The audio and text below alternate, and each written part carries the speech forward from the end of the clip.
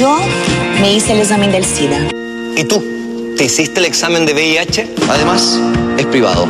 Cuida tu vida. Hazte el examen hoy. Elige prevenir. Este es mi examen del VIH.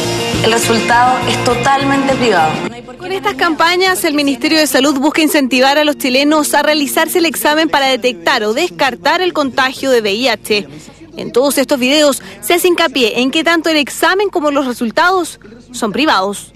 Pasado el lunes 14 de enero, según denunció un usuario del Centro de Salud Familiar Isabel Riquelme de había a vista y paciencia del público un mapa epidemiológico que habría marcado los sectores donde viven personas contagiadas con VIH, otras en condición de vulnerabilidad y también donde se han registrado casos de violencia intrafamiliar.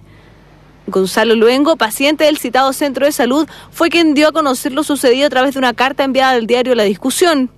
El mapa, si bien no entregaba detalles específicos como direcciones o nombres, permitía la identificación de domicilios ya que estaba hecho a gran escala. Es más, el denunciante asegura que por este documento se enteró de que un vecino padece SIDA. Al ser consultada al respecto, la encargada de la Dirección de Salud Municipal, Jimena Meyer, aseguró que efectivamente ese mapa nunca debió estar a vista del público, pero desestimó la denuncia del usuario.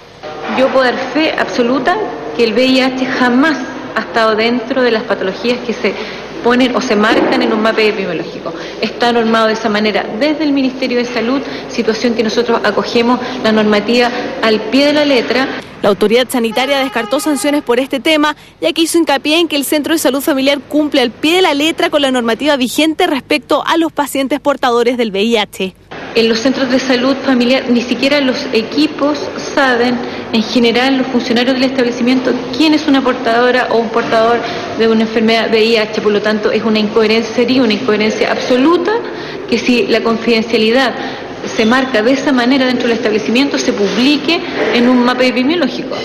El mapa de la discordia es un instrumento de uso interno que se genera en los centros de salud para poder representar la situación en que se encuentra la población que se les asigna, de modo que es un material de trabajo exclusivo de los equipos de salud para poder ubicar a las familias de riesgo que tienen personas postradas por algún mal, como por ejemplo hipertensión, diabéticos, adultos mayores con problemas de salud, embarazos adolescentes y precoces, entre otros. La norma en torno a esta materia es clara al violar la confidencialidad de un paciente enfermo de VIH, el responsable arriesga una sanción con una multa de 3 a 10 UTM.